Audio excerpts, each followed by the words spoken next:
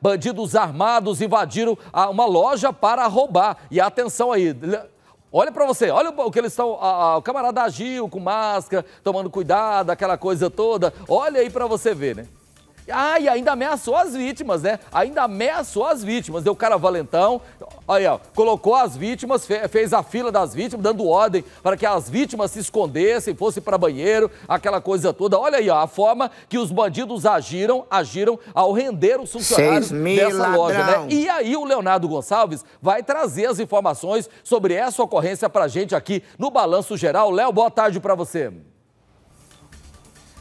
Oi, Lores, muito boa tarde para você, meu amigo. Boa tarde a todos que acompanham o BG. Esse assalto aconteceu no início da noite de ontem nessa loja de celulares está logo aqui atrás. Ô Lores, agora nesse momento a loja está fechada. Como a gente vê nas imagens, os bandidos chegaram rendendo já os clientes e também funcionários e o dono desse estabelecimento aqui. E um dos criminosos estava com uma arma em punho, inclusive ameaçando as vítimas, enquanto o outro fazia o limpa. Ele estava com uma recolhendo celulares. São celulares importados, aqueles é, aparelhos caros. Portanto, eles fizeram um limpa nessa loja aqui, ameaçando as vítimas com a arma apontada para essas pessoas. Imagina o trauma que essas pessoas vão ficar agora. De acordo com o dono do estabelecimento, que registrou a ocorrência tanto na Polícia Militar, também na Polícia Civil, o prejuízo aí foi em torno de 70 mil reais. Logo depois de praticar esse assalto, Loares, os bandidos fugiram e até agora a polícia não conseguiu localizar esses dois criminosos. É, você que tem informação, porque eles vão vender isso para alguém, né? Cuidado você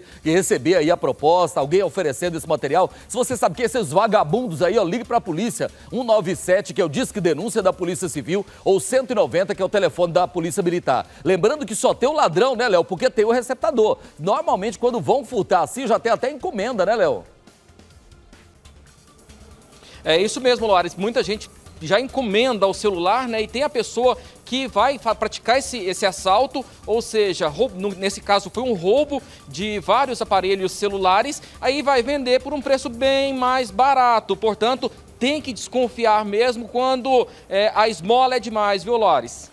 Pois é, e lembrando o seguinte, as empresas, os fabricantes precisam encontrar um mecanismo para dificultar a habilitação é, de celulares roubados ou furtados. Obrigado, Léo, trazendo a informação desse assalto que aconteceu numa loja, olha para você ver. E eles bravos ali, agressivos, colocaram ali os funcionários, né, esconder, é, mandaram esconder é, e ainda, né, ameaçando realmente, ameaçando atirar nos funcionários.